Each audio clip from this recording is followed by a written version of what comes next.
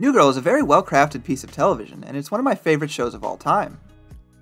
It's currently one of the most popular things on Netflix, and it has been for the past several years, and I honestly think that every character has traits that make them endearing, lovable characters that stick with you long after you finish the series.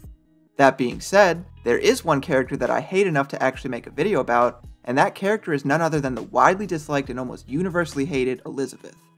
So wait a second, Sam. You're making a video about Elizabeth. I mean, she's only in seven episodes. That seems like a pretty minor character to focus on. And the answer is yes, because I'm currently rewatching New Girl, and she's infuriated me to the point that I just I have to. But Elizabeth was Schmidt's college girlfriend, who was the first girl Schmidt was ever with in his life. Schmidt, as we know him, is a self absorbed, status obsessed person who, on the surface, bases his entire life and personality off of what other people and Michael Keaton thinks of him.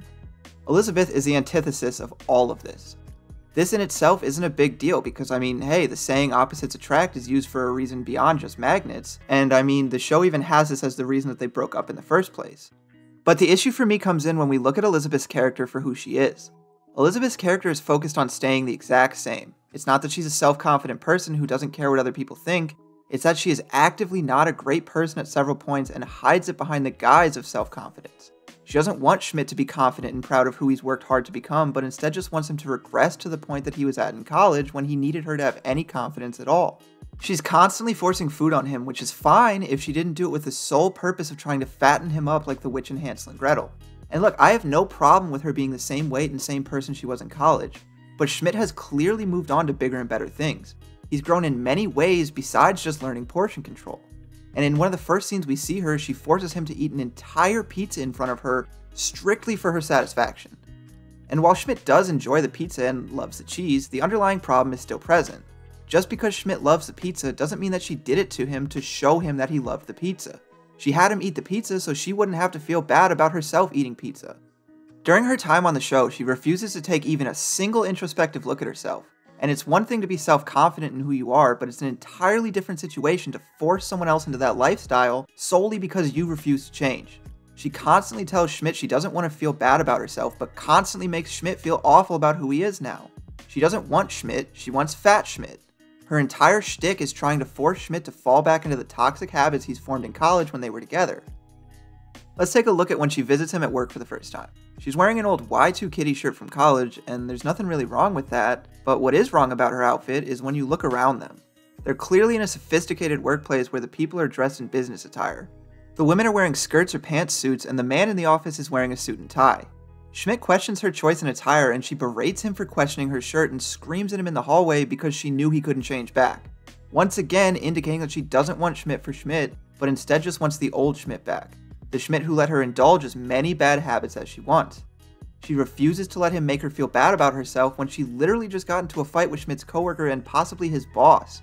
I mean, it's one thing to stand up for yourself in a mature way, but if someone in your significant other's workplace called you spooky, your immediate response should not be to cuss and threaten physical violence against them.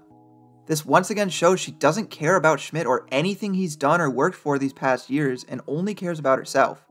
She's angry at Schmidt for changing when she has been unable or unwilling to change a single aspect about herself from that time. Look at the ending of this episode, where he comes crawling back to her in his old college clothes that don't fit him anymore, and she just takes him back. She takes him back not because he's comfortable with who he is now, but because she doesn't have to face the fact that she isn't comfortable in her own skin. It's obvious that she thinks people look down on her for who she is and has some inferiority complex that she forces on Schmidt for the limited time that they're together.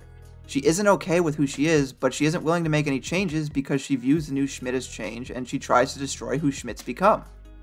See, one of my biggest problems I have with Elizabeth is that she isn't really fat or that unhealthy, but she's trying to force Schmidt to turn back down an incredibly unhealthy path. Schmidt was very fat, like so fat, as he put it. Look at what Schmidt looks like in college and what he looks like during the show. It's clear which Schmidt is going to live a long time and which Schmidt is going to drop dead of heart problems before the age of 60. She's trying to force him to go back to the awful way he lived his life before he graduated. And she knows it because she knows who Schmidt is deep down. He's just an insecure kid who yearns for the acceptance of the people around him, and she uses that to manipulate him into doing things that he wouldn't normally do. Let's quickly ask ourselves who forced Schmidt to lose the weight and become a marketing executive in the first place? That's right, it was Schmidt. Schmidt wanted to be a marketing executive because someone once told him that that's what a man does. He took that outside input and internalized it to become his own thoughts and opinions. He became the image of a cool guy he had in his head and lived his life according to that image. Quick spoiler for How I Met Your Mother ahead, so if you haven't finished that show yet, uh, I'll put a timestamp to skip to right here. But it's just like Barney in How I Met Your Mother, where he used to be a hippie, but he created an entire persona just to get revenge on the guy he used to serve coffee to, aka his boss. His personality is over the top, and he exaggerated most of his qualities in order to fit into the lifestyle he imagined someone like that would live. Schmidt is the exact same way. He embodied the ideal image he had in his head of a boss and worked every day to achieve that boss status. This is why a lot of his traits are so over the top and the things he does are so out of the ordinary. It's because that's what he thinks someone like that would do, not what he actually wants to do. But he's become so invested in this persona that he can no longer distinguish between the two anymore so this imaginary bar he set for himself is the only thing that drives him forward. And Elizabeth is the counter to all of this growth he's undergone, because she knows that this persona is just that, a persona, and it's not who Schmidt really was before. But that's the thing, it's been almost a decade, if not longer, since they were together, and to expect Schmidt to have remained the same or try to force him to go back to that guy after all this time, is just kind of outrageous in my opinion. Schmidt could have walked away at any point too, and he definitely should have after Cece's wedding. I mean, come on. The girl he's been in love with since the pilot episode just canceled her wedding and professed her love for you. Schmidt took Elizabeth to the wedding and he was given the choice between who he wants to be with. He had a perfect opportunity to make a clean break and move on with the love of his life. But he doesn't do that. And I never said Schmidt wasn't at fault for it, but the issue I have with Elizabeth is that she knows he's insecure and wants acceptance over everything else, and she still manipulates him anyway. She says she loves him all the time, but honestly, she doesn't even seem to love herself all that much, and that would have eventually killed the relationship in the end anyway. Because either Schmidt throws away everything he's worked for and falls back into the insecure self image he had in college, or he realizes he's happy the way he is now and Elizabeth leaves him because of it. Either way, there isn't really a happy ending in store for them together. Honestly, she was just a throwaway character that was used to add drama into the show and give him and Cece other romantic options besides each other. It was just a stall because anyone who's watched the show knows how Cece and Schmidt end up, so honestly, she just seems to be a bad person for the sake of being a bad person. And this is another problem I have. She was only added strictly to keep the main characters apart. A sitcom's not a great place if all the characters are happy together because there isn't as much room for drama or laughs in a healthy adult relationship. Nick and Jess were already together, so having two of the other main characters being together wouldn't have allowed for the plot lines they had planned for the future, so splitting them up was the only way forward. And I understand that the character of Elizabeth is necessary, because without Elizabeth, Cece either marries Shivrang or she ends up dating Schmidt and another issue is needed to split them up.